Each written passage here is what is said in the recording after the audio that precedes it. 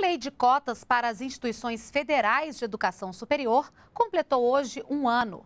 Todas as instituições cumpriram a meta estabelecida para 2013, que é de reservar 12,5% das vagas para estudantes que tenham cursado integralmente o ensino médio na rede pública.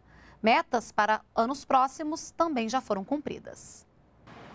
Algumas metas previstas para 2016 foram superadas já no primeiro aniversário da Lei de Cotas. As instituições federais de ensino superior devem reservar, neste primeiro ano da lei, 12,5% das vagas para estudantes de escolas públicas. Em 2014, serão 25%, e assim progressivamente até chegar à metade das vagas reservadas em 2016 um terço das universidades federais já atende a meta estabelecida para daqui a três anos. Este ano, elas abriram 142 mil vagas para novos alunos. Destas, 46 mil foram para estudantes cotistas. Entre os institutos federais, Quatro de cada cinco já atingiram a meta dos próximos anos. As vagas reservadas também devem respeitar a proporção de negros, pardos e indígenas do último censo demográfico. René está se preparando para disputar uma vaga pelo sistema de cotas e acredita que a reserva de vagas já está mudando o perfil dos cursos de nível superior no Brasil. Essa oportunidade não tinha para muitos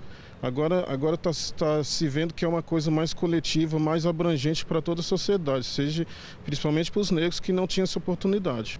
Esta semana foi criada uma comissão que vai ser formada por representantes do Ministério da Educação, da Secretaria de Políticas de Promoção da Igualdade Racial e da Fundação Nacional do Índio. O grupo vai acompanhar a política de reserva de vagas nas instituições federais de ensino superior.